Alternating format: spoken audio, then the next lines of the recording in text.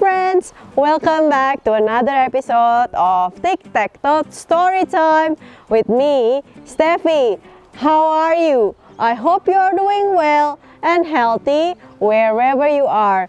My reading friends, knowing and understanding the physical sensations of each feelings is important.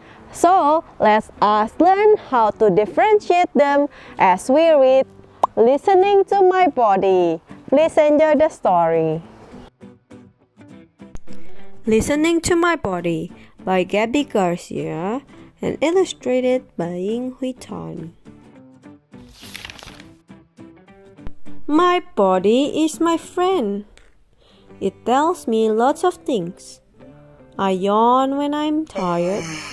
My stomach growls to let me know I'm hungry and sometimes I get goosebumps when I'm cold. This happens on its own without me doing anything. I may not even notice that it's happening, but I can start paying attention to my body, and so can you. Let's practice. Look closely at the palm of your hand. Trace the lines of your palm softly with your finger. When you finish, Switch hands. How did that feel? When I pay attention and listen to my body, I notice many different sensations. Sensations are the physical feelings we all have inside and outside our bodies. Cold, sweaty, strong, and breathless are examples of some sensations have you felt these sensations before? Let's practice. Rub your hands together quickly for 30 seconds. What do you notice? Heat? Tingles? Sweat? Anything else? Those are sensations.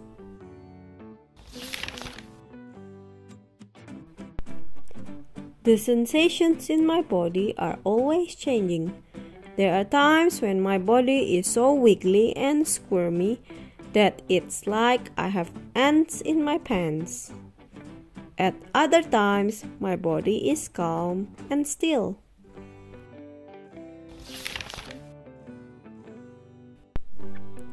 Sometimes the beat of my heart is like a gentle tap. Sometimes it feels like a pounding drum. Let's practice. Place your hand over your heart and find its beat. It's okay if you can't. Now, jump up and down quickly 15 times. Place your hand on your heart again. What happened to your heartbeat? Did it change or stay the same? Do you notice anything else? Like a change in your temperature or your breathing? I can also listen to my body for clues about how I'm feeling about the things happening around me. Feelings are not good or bad. They are something we all experience.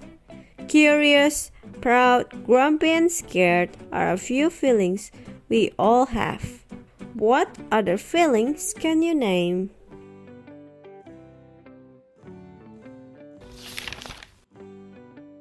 What I've learned from listening to my body is that sensations and feelings go together. I noticed this when I got to ride a roller coaster for the first time. I was super excited that I was finally tall enough to ride it, but I also felt nervous as I climbed on board.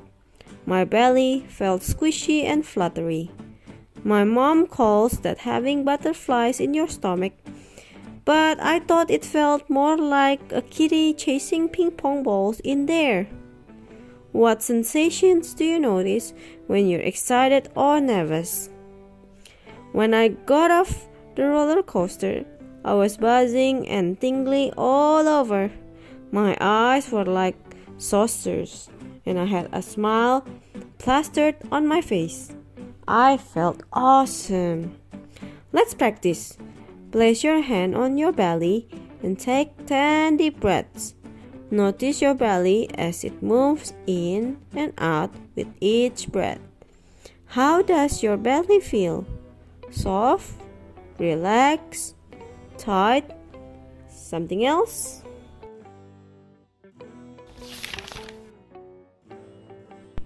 Sometimes when I'm sad, I get a lump in my throat that makes it hard to talk or breathe.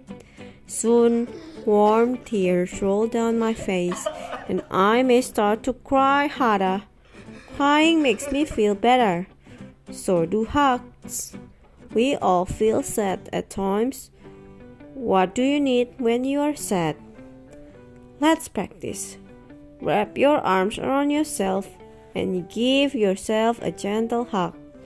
Move your hands up and down your arms.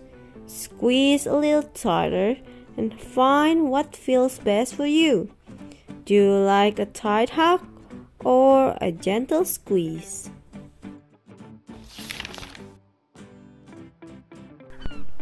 My mom once explained to me that sensations and feelings are like the waves in the ocean. Some come crashing in, while others roll in gently. And they always come and go. We can't stop the waves from coming, but we can pay attention to them so they don't knock us over.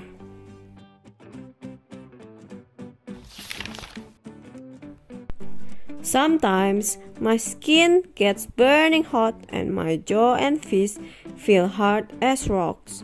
That happened to my body the last time I got really angry at my sister. She just destroyed the puzzle I was working on all afternoon. I stomped my feet and slammed the door, but I really wanted to kick it.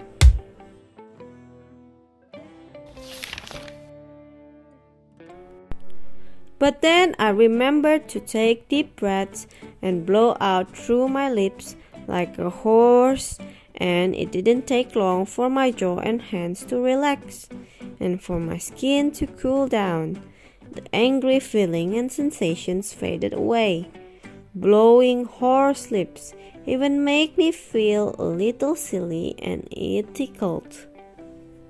I decided to put the puzzle on a table that my sister couldn't reach. Let's practice. Close your mouth so that your lips touch gently.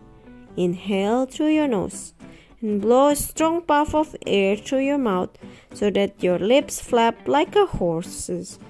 Try that a couple of times. What do you notice? How do your lips and jaw feel?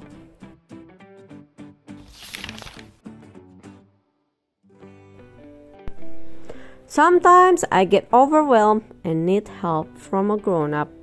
On the first day of school, I woke up super early because I couldn't stop thinking about what my new class would be like. My stomach felt like it was tied in knots, so I didn't eat breakfast. In class, it was hard for me to focus on what my new teacher, Miss Morgan, was saying, and my body was shaky. When it was time to line up, I accidentally bumped my desk and knocked my stuff all over the floor. Everything was going wrong. Miss Morgan helped me pick up my things, and I took deep breaths like she reminded me. I told her about my morning, and she explained that our brains have a hard time thinking when our bodies are tired and hungry. Miss Morgan thought I would feel better if I had a snack and rested in a quiet area while the class was at recess. She was right. I was calm and able to focus, so the rest of my day went much better. It's okay to get help when we need it. Who is an adult who helps you? At other times, when I'm upset, I can figure out what I need on my own by listening to my body. I can pay attention to my breathing, my heartbeat, the temperature of my skin, or to any other sensation. Am I hungry or thirsty? Tired or full of energy? Is my belly tense and tight or soft and relaxed? These are just some questions I can ask myself. I can also try to name my feelings. Do I feel peaceful or playful? Confused or frustrated? Hurt or cranky? There are many different ways I may be feeling, and they are all okay.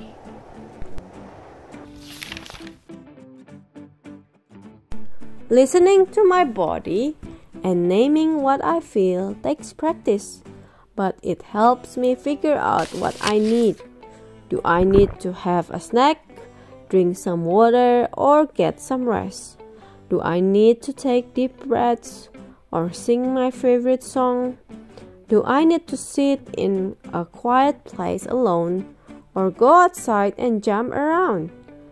I can color or draw, dance, cuddle with my dog, or hang around someone I love. These are things I do that help me feel calm, happy, or peaceful. Everybody is different, so you get to decide what feels best for you. The more I practice listening to my body, the better I get at responding with care and kindness for myself. I can get better at listening to my body, and so can you. Let's practice. Listen to your body. Do you want to sit down or stand up? Do you need to be still or move around? Would you like to wiggle and jiggle, hop or dance? It's your body, so you get to decide. Move in a way that feels good to you.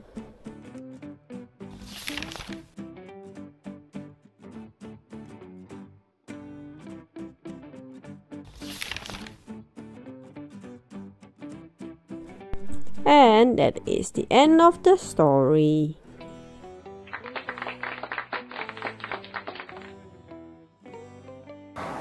Wow! So many new words that we can use to describe our feelings. My reading friend, this book teach us to engage more mindfully on our feelings and also to build our own emotional resilience. If you like this kind of story, please give a thumbs up and also subscribe to our channel to hear other special story from me. See you in the other story.